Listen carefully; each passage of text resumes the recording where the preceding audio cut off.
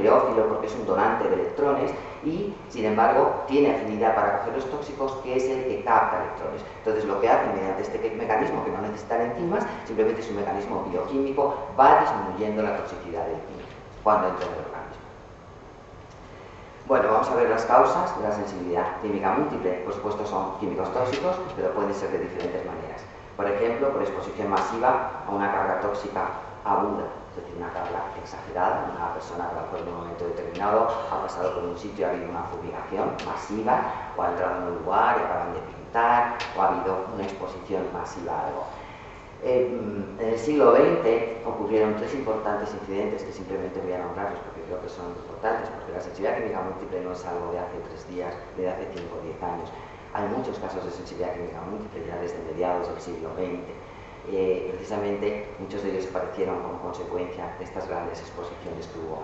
En la, Segunda Guerra Mundial, por ejemplo, hubo una exposición masiva que llamamos el gas mostaza y hubo mucha gente afectada de sensibilidad química Después hubo la guerra de Vietnam, habréis oído hablar de la gente naranja, el síndrome de la gente naranja. Eh, la gente naranja son unos, unos herbicidas mezclados con dioxinas, son sustancias muy tóxicas y se llamaba agente naranja porque los transportaban en la guerra de Vietnam mediante bidones de color naranja. Entonces fumigaban mediante avionetas y así mataron a mucha gente, es decir, era un arma absolutamente química para la guerra. Y después hubo otro gran, terrible, terrible eh, contaminación que fue en Bhopal, no sé si os acordáis, que fue realmente tremendo. Hay un libro que escribió eh, Dominique Lapierre y Javier Moro, que era su sobrino, y escribió, se llamaba Era Medianoche en Bhopal, fue efectivamente medianoche. Hicieron, Carvalho, que era una industria americana, hizo una, fábrica de pesticidas allí en Bhopal, solamente una población de un millón de personas, y hubo un escape de cianatos. Los cianatos se convierten en cianuros de hidrógeno, que es muy tóxico y que se inhala, y prácticamente unos 86.000 personas de la población resultó afectada, pero aproximadamente dicen que de 30 a 40.000 personas llegaron a morir. Yo tuve la oportunidad de estar allí, estuve allí, hicieron un pequeño hospital para ayudar a muchas personas con sensibilidad química que estaban allí en aquel lugar y realmente eh, pude ver cómo muchas madres tenían que hacer los biberones con agua contaminada. Yo llegué a probar ese agua y la lengua se te ponía absolutamente viva. Era terrible, no tenían otra posibilidad. El agua sería contaminada 40 años después, después de toda aquella intoxicación. Hay muchísimos casos de gente con sensibilidad química múltiple y hay una clínica donde estuve un tiempo allí corroborando y donde realmente hay muchísimas personas afectadas. Quiero decir que la sensibilidad química múltiple está extendida por el mundo entero y además hace mucho más tiempo de lo que nosotros pensamos. Bueno, además de esta exposición masiva, ¿no? hay otra manera en la que normalmente pueda ocurrir después de una infección severa vírica, bacteriana o parasitaria. Esto solo ocurre nada más que en un 1% de la población, de las personas afectadas. Por exposición a dosis ambientales de químicos tóxicos, siguiendo a un trauma masivo, eso suele ocurrir en el 12%, a un parto en el 9% y a una cirugía en el 2% y lo más frecuente son por exposiciones crónicas acumuladas en el tiempo, es lo que llamamos, que es el 60%, que es lo que llamamos enmascaramiento. ¿Por qué? Pues porque realmente no se tiene conciencia, ya que las dosis que desencadenan los síntomas son mínimas. Entonces las personas no son conscientes que se están intoxicando poco a poco. Aquí hay una cosa, un concepto muy importante que introducimos en medicina ambiental, ya hablamos sobre el sistema de adaptación. La gente piensa que el sistema de adaptación es algo que realmente es bueno. Sí, lo es, pero no es bueno para un momento agudo. O sea, es cuando en un momento determinado el organismo, ante una exposición, necesita sobrevivir. por supuesto, es importante que entonces se adapte. ¿Y cómo se adapta? Empieza a segregar más cantidad de enzimas, empieza a inducir una serie de procesos para ayudar a intentar salvarnos. Pero ¿qué ocurre? Si esa exposición continúa en el tiempo, poco a poco, el sistema llega un momento en el que tiene que estar adaptarse, adaptándose de una forma crónica y llega un momento en el que se agotan todos los recursos del organismo y llega un momento en el que se produce la enfermedad. Se va produciendo una ruptura insidiosa, crece la vulnerabilidad del individuo, resultando al final en sensibilidad química. Se produce también lo que llamamos el fenómeno de expansión, que es que hay una mayor susceptibilidad en el órgano. Cada vez el órgano se afecta a más cantidad de tóxicos y cada vez hay más tóxicos a los que uno es sensible y cada vez hay más órganos afectados, hasta que al final llega el daño al órgano. Voy a hacer un pequeño inciso, lo que significa dosis o niveles bajos, porque me preocupa, realmente nos preocupa en medicina ambiental cuando se habla niveles bajos, porque parece ser que niveles bajos significa que, bueno, que parece inofensivo y realmente no es cierto. Se sabe que algunos tóxicos, como por ejemplo un herbicida, que es el 2,4,5-T, es dañino a trillonésimas partes, que decir a dosis ínfimas puede ser realmente mortal y muy peligroso. Los niveles considerados bajos por los estándares de hoy tampoco son correctos. Muchas veces se hacen grupos control en la población de hoy día en la que simplemente se considera que la gente no está enferma, pero se considera que la gente no está enferma entre comillas, quiere decir, porque realmente lo que tendría que hablarse es de gente verdaderamente sana, cosa que es muy difícil en el mundo occidental encontrar a alguien hoy día completamente sano.